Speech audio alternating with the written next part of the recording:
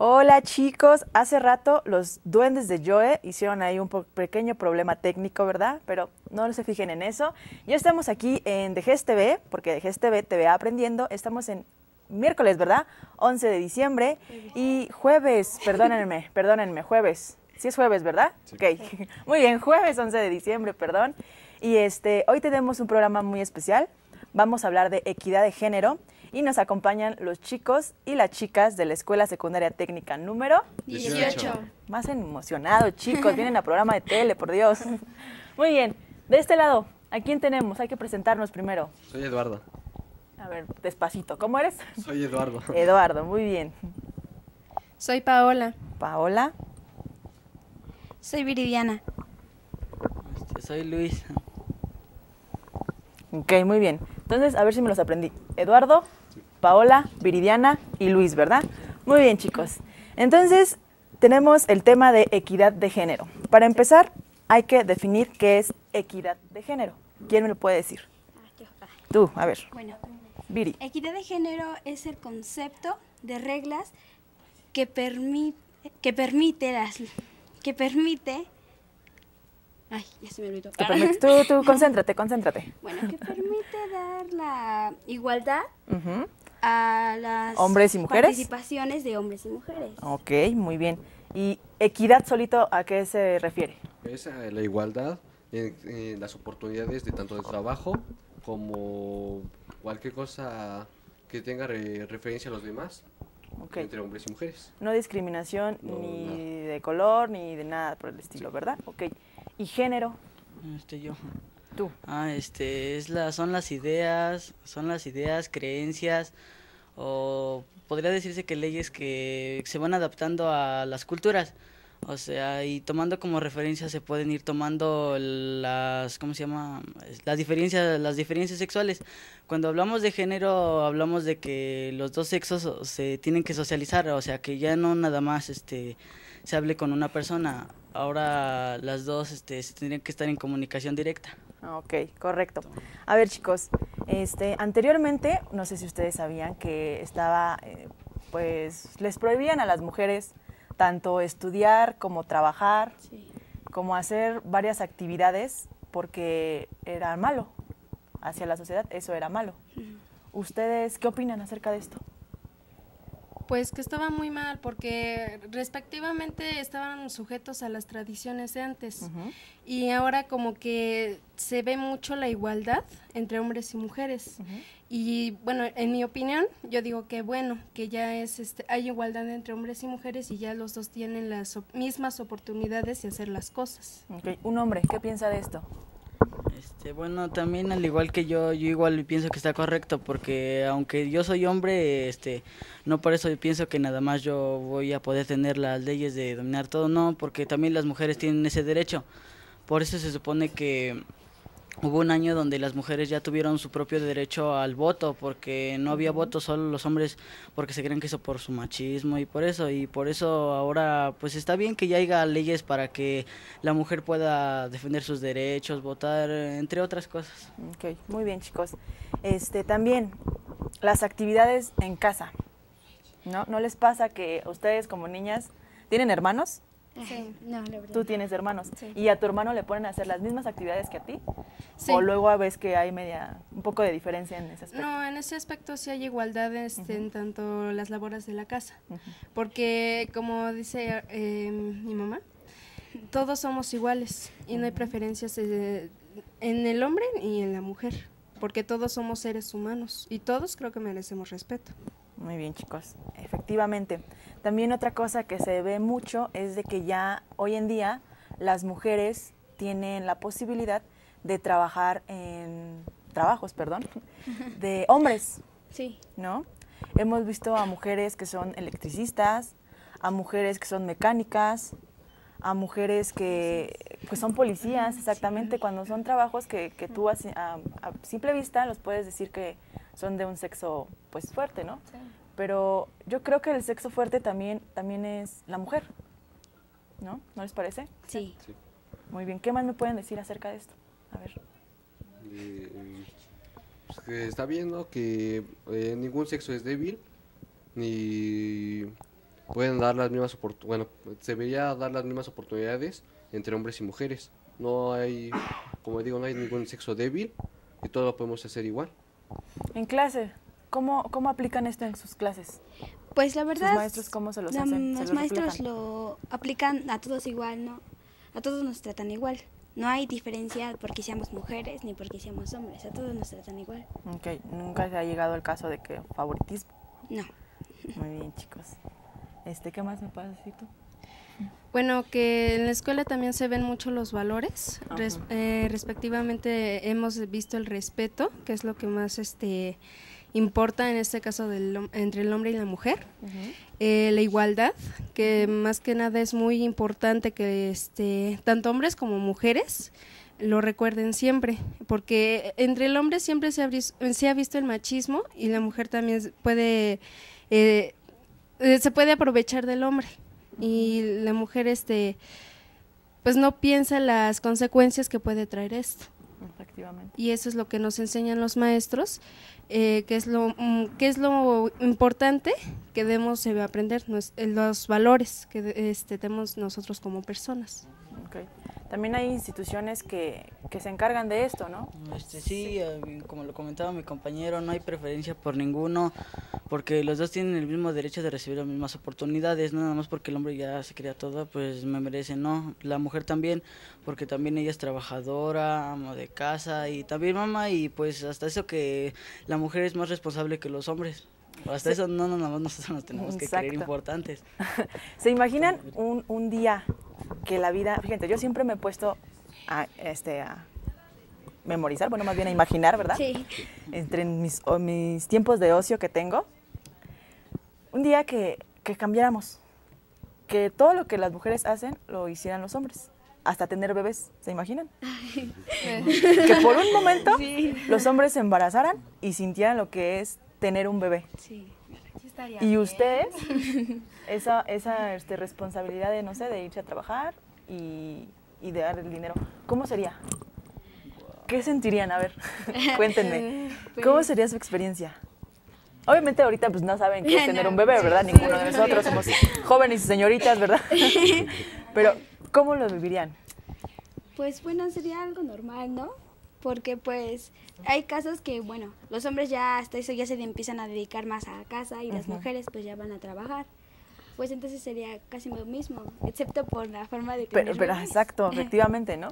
He ahí para que vean lo que uno siente y a ver si nos siguen catalogando como el sexo débil, porque en verdad no lo somos. O sea, el tener una personita nueve meses y luego de ahí dar a luz, el dolor que se ha de sentir, ¿verdad? Me imagino, porque Sí. todavía no soy mamá, e- es muy fuerte. Bueno, chicos, a ver, ¿qué más me pueden platicar acerca de equidad de género? Bueno, más que nada en equidad de género hay algunos programas que pues ya hacen ese favoritismo para las mujeres. Por, el, por ejemplo, el programa MEG o la ONU. Pues esos programas son los que apoyan a las mujeres para que, bueno, no tanto a las mujeres ni a los hombres, sino es para Igual. un equilibrio, para que haya respeto y todo eso. Muy bien. ¿Ustedes cómo ven este, en la actualidad esto eh, de equidad de género en su comunidad, en su Este, ciudad, en el país? Pues, pues hasta ahorita, este, nuestra ciudad, pues lo está tomando ya más, este, más controlado, ya casi ya no, ya no hay más machismo, ya los dos ya, ya, porque ya hay veces que ya podemos ver a mamá salir a trabajar y que ahora los que se quedan a hacer los, los, los quehaceres del hogar son los papás, ahora pues eh, puede llegar a ser que, que puede llegar a ser al revés, que ahora el papá se queda a recoger y que la mamá se vaya a trabajar. Exacto. ¿Y cómo ven esto? Pues está, está bien, ¿no? Para... ¿A ustedes lo harían? Yo, bueno, a mi... ¿Determinado tiempo? eh, ¿Les gustaría parec- ser amos de casa? A mi parecer, pues sí, para que vean, veamos cómo sufren, bueno, no cómo sufren, más cómo son las labores de, la, de las madres. Exacto.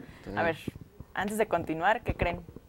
Ya nos están escuchando y tenemos comentario en el chat, así hay que poner atención. Joe, Sí, están eh, los amigos del chat conecta- con- conectados. Ya, ya lo dije, conectados. En la 107 está Ricardo, en la 39 Lorena, la escuela 56, la 60, la 92 y la 96 que están aquí desde muy temprano con nosotros. Muchas gracias y saludos para todos.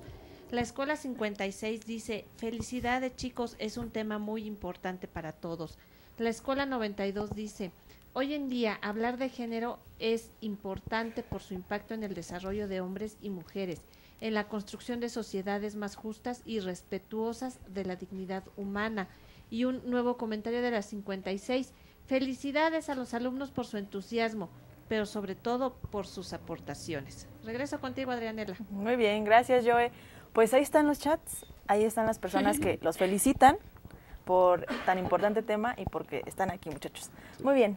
Este, en efecto, también se pueden tomar el tema de, de la escultura, ¿no? En este, en este aspecto. Pues, pues sí, la verdad sí. ah, Sí. Porque, bueno, eso yo que sepa, en mi opinión, eso viene del género. El género, es como decíamos, el género es una cosa y el sexo es otra. El gen- exacto. El, sexo es lo del bio, lo que venimos ya de nacimiento, ¿no? Exacto. Hombre o mujer. Ajá, y en cambio ya en el género es sobre las culturas, nuestra opinión, Gustos. gustos, moda, así todo eso.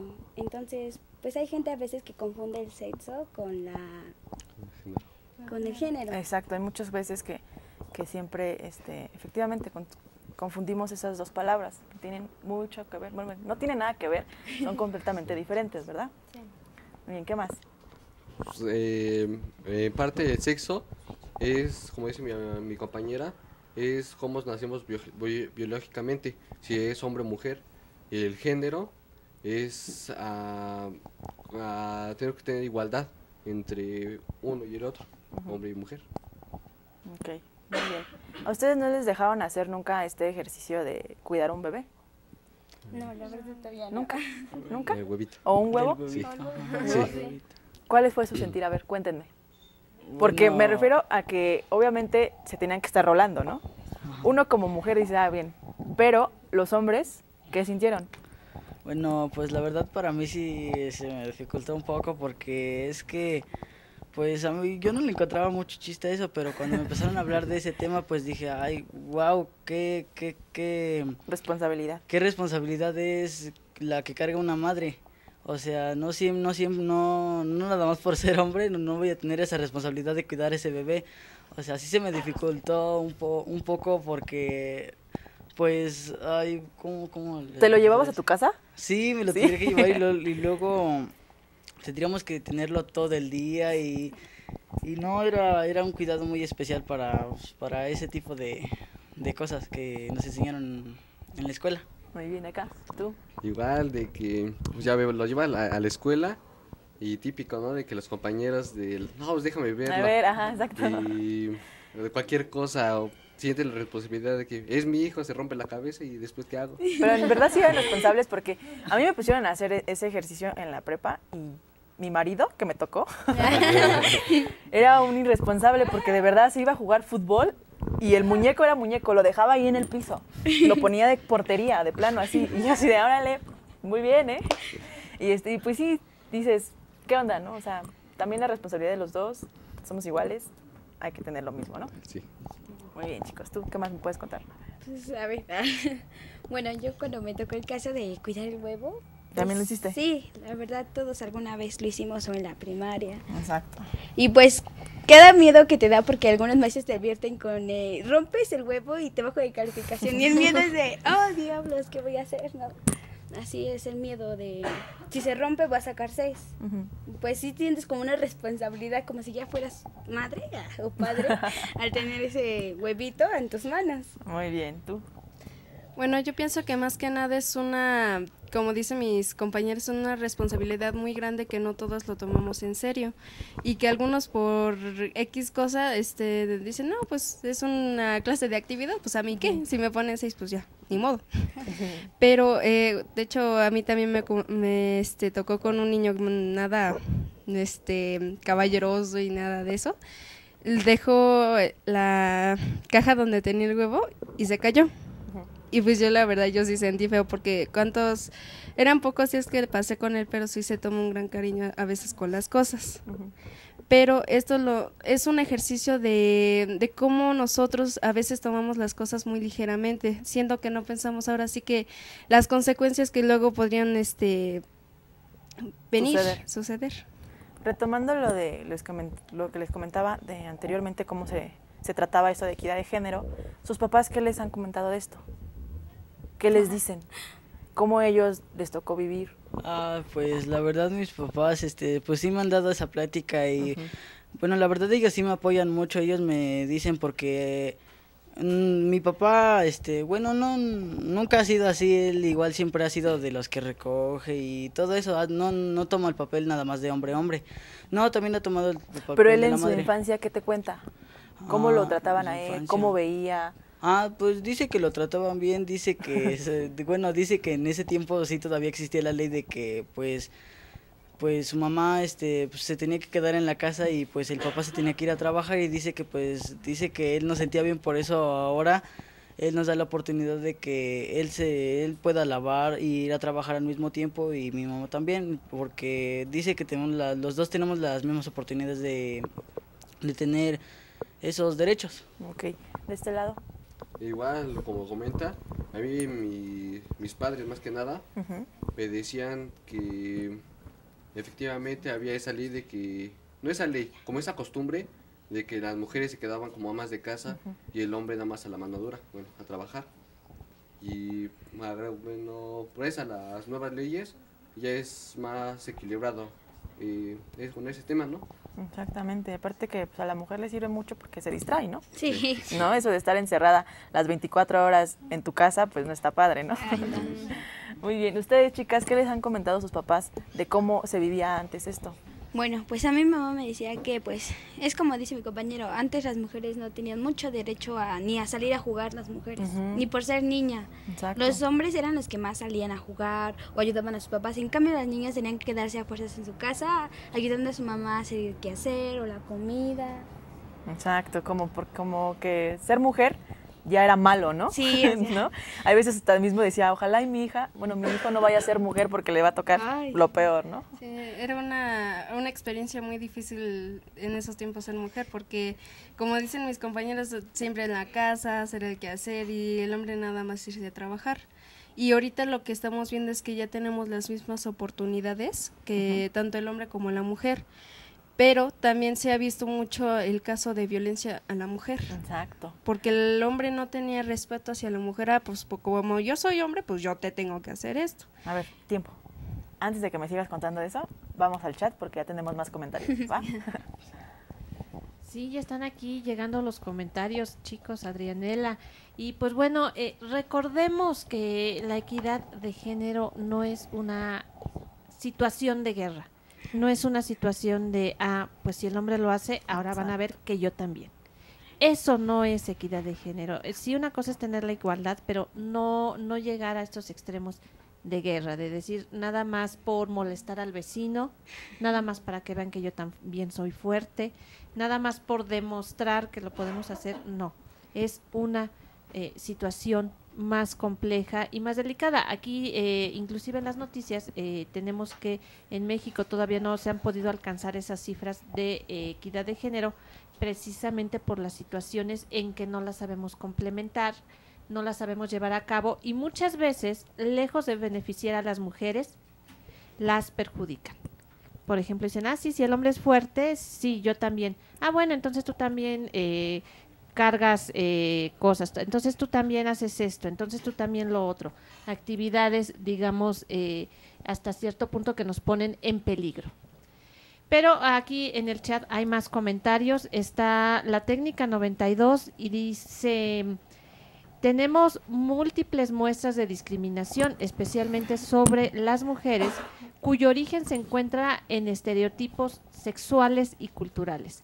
Estos han repercutido de manera determinante en la falta de oportunidades para el desarrollo de las mujeres, así como para mantenerlas expuestas y sujetas a la violencia emocional, económica, sexual y física. Para superar estos problemas es una labor que exige atención en lo político, jurídico, cultural y sobre todo educativo. Así que, pues bueno, son los comentarios de la técnica número 92 y les digo, va aunado a esto que les comentaba. Pero creo que también vamos a tener participación porque está de visita la técnica número ¿qué? 18. A ver, saluden, la chicos. técnica número 18 aquí en el estudio y que también van a tener una colaboración con los chicos. ¿Quieren pasar? Vamos, chicos. Ok, muy bien. A A ver, ver, a ver, esperamos a creo los que quieren pasar. ¿Van a pasar a comentar algo? A la Ah, ok, bueno, antes de que pasemos a eso de despedidas, este, en efecto, eso que comentaban eh, de que hay veces esto de equidad de género se toma como guerra, ¿no? Y, y hay veces que las mujeres este, que tienen un puesto mayor se, pues se pasan con esto, ¿no? ¿Por qué? Porque a mí me ha tocado casos que en efecto, como el simple hecho de sentirse ya algo poderoso, algo fuerte, humillan a las personas, ¿no? Mm, Humillan a su equipo de trabajo y pues esto no está padre. ¿No? Eso, eso sí lo he visto que hay veces que hasta siendo hombres pues también son maltratados por mujeres. Sí. ¿no? Muy bien, chicos. A ver, algo más que me quieran comentar antes de cerrar. Pues nada más. Ya no, me importa, Sí, ya sería sí. todo, bye. ya, ya no quiero estar en cámara, dicen. Ok. Muy bien, chicos, pues llegó la hora feliz de todo esto. Sus saludos. Ah, ok, ya. Bueno, nosotros le queremos mandar saludos a todos los de la Escuela Técnica número 18. Un saludo para todos los de la técnica número 18. Y ¿saben qué? ¿A quién tenemos que saludar? ¿Y quién? Ah. Su director o directora que les dio permiso de estar aquí. ¿Quién es? ¿Cuál es el nombre de, de José Manuel. José Manuel?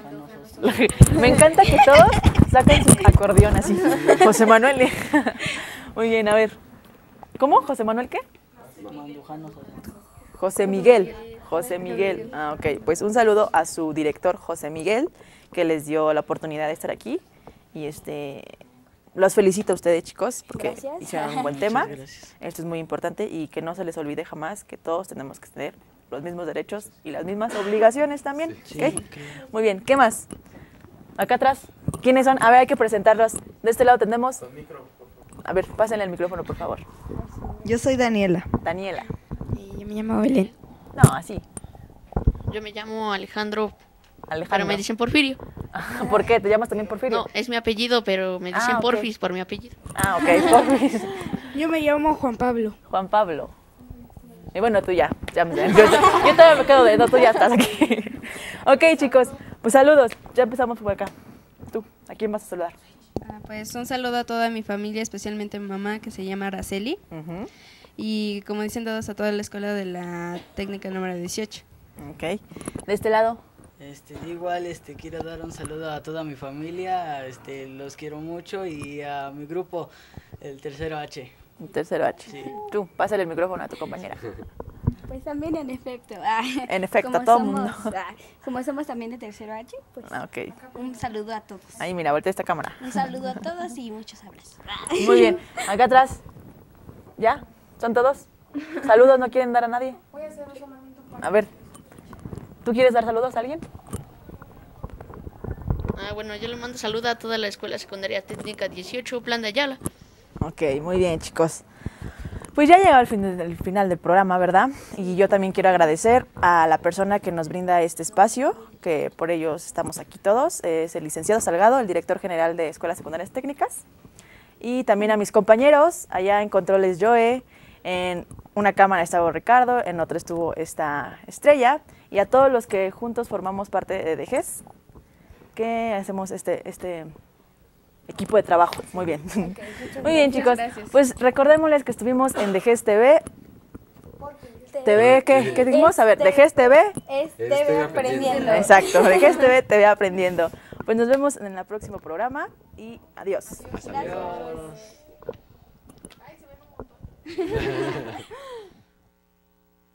Lo primero que ven en ti es esto. Tu rebeldía, tu música, tu seguridad, tu moda, tus gustos, tu look. Y lo que también deberían de ver es lo que hay detrás de esa imagen. Lo que importa está en tu cabeza. Lee 20 minutos al día. Consejo de la Comunicación, voz de las empresas.